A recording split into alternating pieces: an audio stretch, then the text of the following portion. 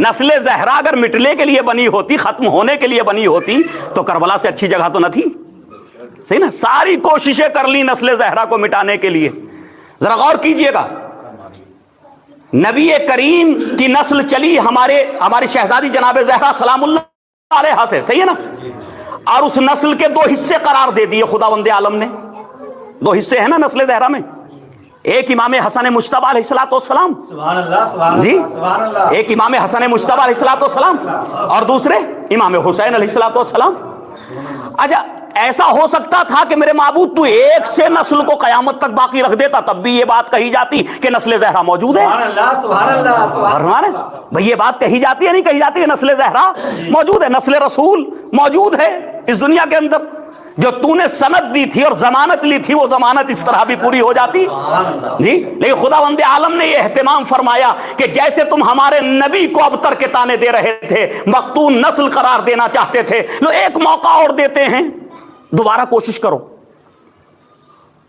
कल तुम्हारे आबाओ अजदाद चाहते थे कि हमारा नबी मखतून नस्ल हो जाए इसकी कोई औलाद ना हो सही ना? ये अबतर हो जाए। लो एक मौका और देते हैं। उस वक्त तो तुम्हारे आबाओ अजदाद नबी को अबतर ना बना सके।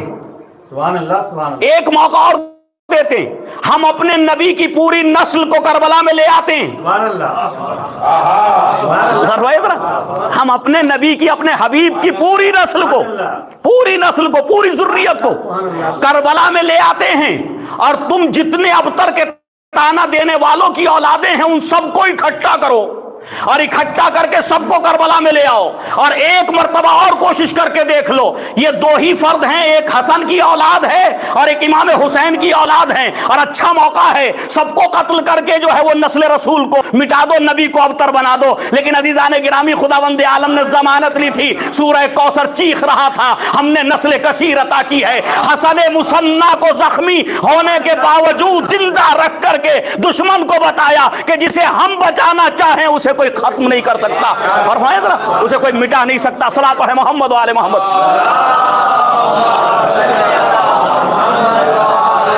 तो जनाबे हसन है मुसन्ना।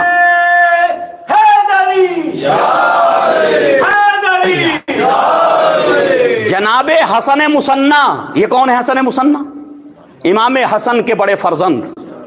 जनाब कासिम से बड़े थे। सही ना? जंग में गए करबला में जिहाद किया। जख्मों से चूर चूर हुए और गिरे, घोड़े से गिरे। उनके ऊपर जो है वो लाशों पे लाशें गिरती चली गई। सही ना? और उन्हीं लाशों के दरमियान जो है वो आप दब गए।